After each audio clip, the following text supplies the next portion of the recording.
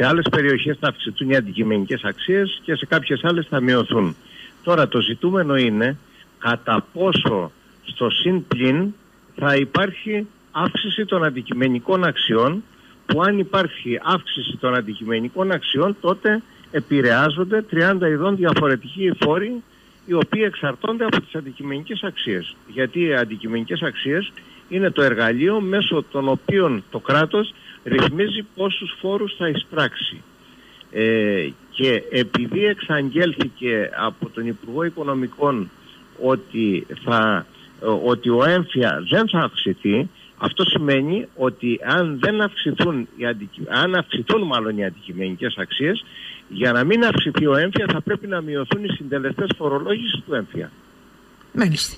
Ζητούμενο λοιπόν η αυξομοίωση των αντικειμενικών αξιών για περίπου λέτε κοντά 30 φόρους που έχουν να κάνουν με την ακίνητη περιουσία του κάθε ενός από εμάς. Δώστε μας ένα παράδειγμα σας παρακαλώ πάρα πολύ. Κοιτάξτε, οι φόροι που επηρεάζονται είναι ε, οι φόροι μεταβίβασης, κάθε είδους μεταβίβαση, είτε γονικής παροχής, είτε δωρεάς, ε, είτε μεταβίβαση λόγω αγοραπολισίας ακινήτου, ε, επίσης οι φόροι ανταλλαγής, οι φόροι διανομής ακινήτων, ε, το τέλος ακίνητης περιουσίας που εισπράτεται από τους Δήμους μέσω των λογαριασμών ε, της ΔΕΗ ε, και διάφορες άλλες κατηγορίες ε, φόρων. Σας είπα είναι συνολικά 30 ειδών διαφορετικοί φόροι, τέλη, που εξαρτώνται από τις αντικειμενικές αξίες. Ναι, μεν ήταν εκκρεμότητα από το 2019 αυτή είναι προσαρμογή, αλλά ήταν η ώρα να γίνει αυτό, κύριε Αράπουλου; Ε, κοιτάξτε, ειδικά για κάποιες περιοχές θεωρώ ότι είναι υπερβολικό και υπερβολικές οι αυξήσεις που έχουν ανακοινωθεί ε, ιδίως για την περιοχή της ε, Χερσονήσου ή της Αλικαρνασού όπου, όπου έχουν αυξηθεί αυξήσεις των τιμών ζώνης ε, στη Μένα Λικαρνασό γύρω στο 38% και στη Χερσόνησο πάνω από 70%. Σωστά. Ε, σε, καμία, σε καμία περίπτωση δεν δικαιολογούνται ειδικά για αυτές τις περιοχές ε, αυξήσεις ε, τέτοιου ύψους. Ε, επίσης δεν ξέρουμε ακόμα το τελικό νούμερο της αύξησης του κάθε ακινήτου γιατί για να βγει αντικειμενική αξία δεν εξαρτάται μόνο από την τιμή ζώνης αλλά υπολογίζονται και άλλοι συντελεστές όπως είναι η συντελεστής αξιοποίηση οικοπαίδου, συντελεστής θέσης, ε, εν πάση περιπτώσει γύρω στους 7 συντελεστές ε, με 8 υπολογίζονται για να βγει αντικειμενική αξία του κάθε ακινήτου. Αν λοιπόν ε, μειωθεί κάποιος άλλος συντελεστής, ε, τότε σε αυτή την περίπτωση το τελικό αποτέλεσμα θα είναι ε, μειωμένο σε σχέση με, την ε, αύξηση της, με το ποσοστό της αύξησης της τιμής ζώνης.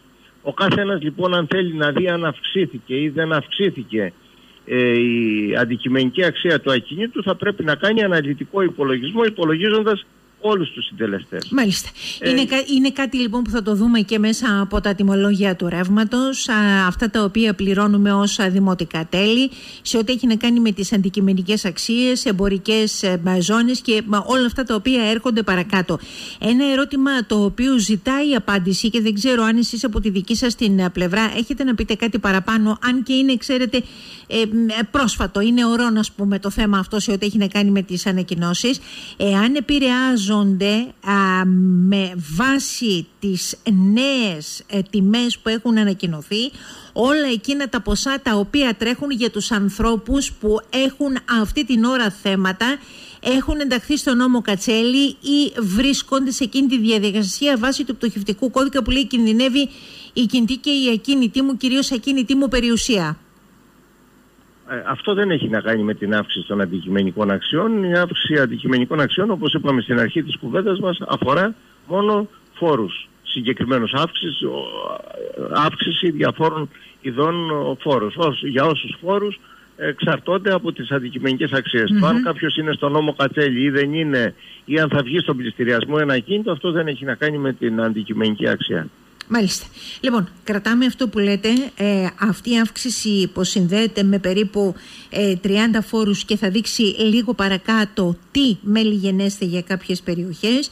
Υπάρχουν περιοχές που πραγματικά αυτή η αύξηση είναι άδικη, δεν συνάδει με την περιοχή αυτή η αύξηση των αντικειμενικών αξιών. Να δούμε λοιπόν ποια θα είναι τα δεδομένα τα οποία θα έχουμε παρακάτω. Αυτό είναι το μήνυμα που κρατάω από εσάς, κύριε Ραπογλώ. Επίσης, κάτι άλλο που πρέπει να κρατήσουν οι αγρότες είναι ότι όποιος θέλει να κάνει γονική παροχή στα παιδιά του, ε, εάν θα αυξηθεί η αντικειμενική αξία του ακίνητου, καλό είναι να το κάνει τώρα πριν την αύξηση των αντικειμενικών αξιών.